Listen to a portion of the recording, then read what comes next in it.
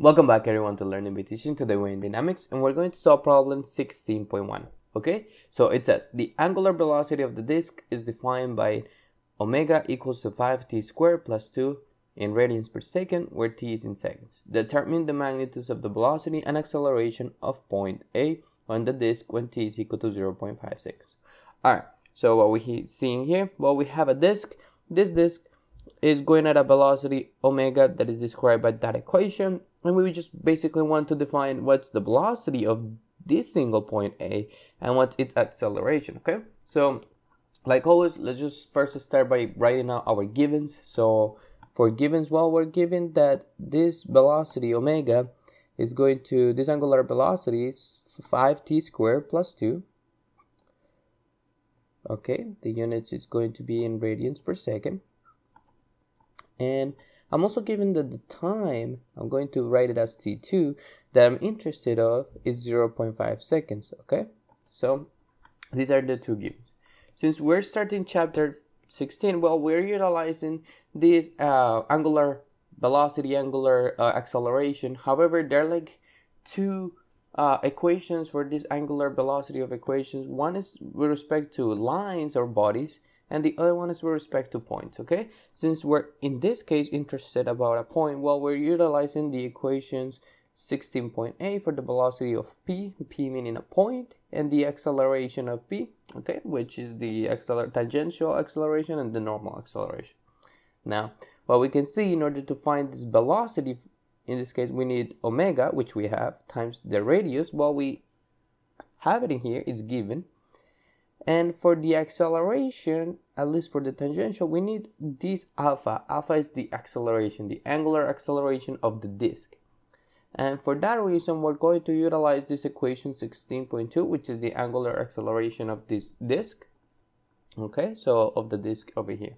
And it's basically the derivative of omega with respect to time. Okay, so knowing that, um, basically if I keep going for the normal acceleration, well, we got omega squared, which we have, and the radius, which we already have as well. So uh, what we're going to do, well, we're going to start by solving for this acceleration, which is the derivative of omega. Well, omega is this equation.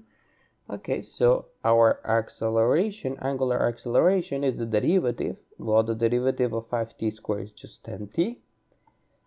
And this should be in units of radians per second square. Okay, so now that we have the angular velocity and the angular acceleration, let's just evaluate them at the time that we're interested, so 0.5 seconds.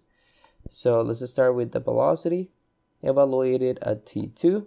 Well, if we follow the equation, will be 5 times 0.5 squared plus 2. And when we plug this into our calculator, let's see how much we get we get a total of 3.25 and this is in radians per second okay? We're going to do the same thing with the acceleration. Alpha evaluated at um, t2 let's put this alpha a little bit better. And the equation for alpha is just basically 10 times this t which is 0.5 seconds and when we plug that into our calculator we of course we get a total of 5 and the units will be radians per second squared like any acceleration. So now we have the acceleration and we get the velocity. What we can do is start with the velocity of the point. So we're going to start at the velocity. So let's write it out. We're going to look for the velocity of my point A and for this velocity well we're just gonna follow that equation. B is going to be equal to omega. Well omega is 3.25 multiplied by the radius. And if I scroll up a little bit over here we got the 0.8 meters. So we got 0.8 meters. We plug this into our calculator and we get a total of 2.6 and this should be in meters per second like our regular units for velocity okay? Just don't get confused with the radians in there. Then we're done with the velocity. What we need to find now is the acceleration so i'm going to write acceleration of a. And for this one well we need to find this tangential and normal acceleration so let's like as a first step.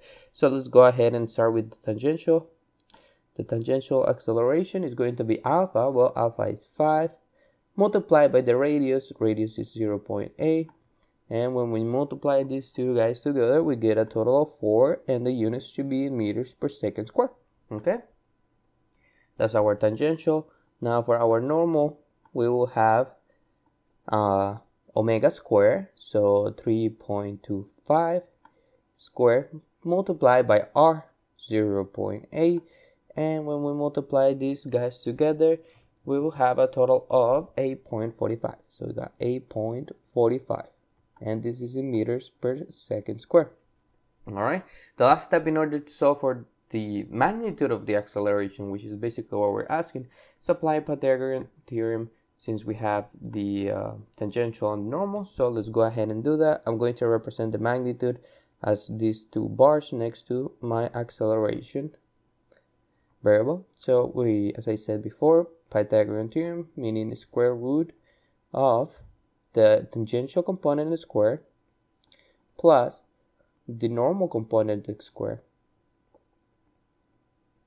and if we plug this into our calculator we will get a total of 9.35 if I round to two decimal places meters per second square okay and this will be our magnitude for our acceleration and the 2.6 above will be our magnitude for our velocity. So I hope you guys like the video. Please push the like button subscribe and I'll see you guys in the next one